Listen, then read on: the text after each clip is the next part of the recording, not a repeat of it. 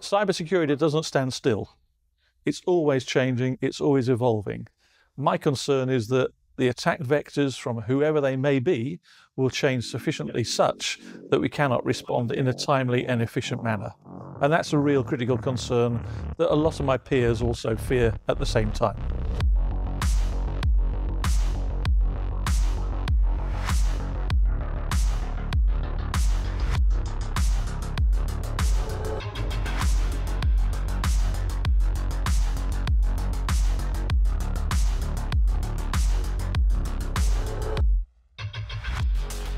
What prompted us to advance into tabletop and uh, crisis control comes from the fact that uh, we want to be in a position to prepare organizations to be battle ready against a threat.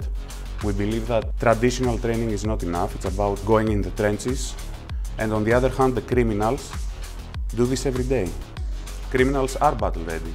And our job as organizations is to be able uh, to combat this by being battle ready as well. And uh, for this to happen, you have to simulate the process over and over again until you reach a point where uh, a crisis uh, is just another day at work.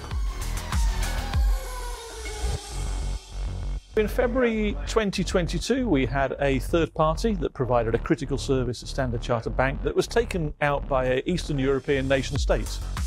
Um, it had a big impact on our organisation because we weren't able to provide a certain offering to our financial markets clients.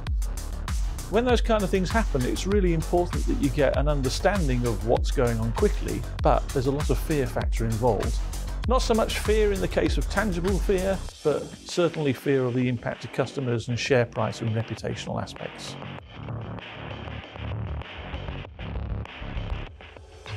It's very much to think, okay, can we shut down the internet, for example? Like, what, what is the impact? And then you see the chaos in the room. It's really dangerous, very dangerous. Does someone need a nap? Or is someone on a plane? Or is someone going to be sick? A lot of people think, you know, it's, it's very much IT driven, but it's literally life or death. Cyber crisis simulations play a crucial role because the essence of crisis confidence is crisis preparedness.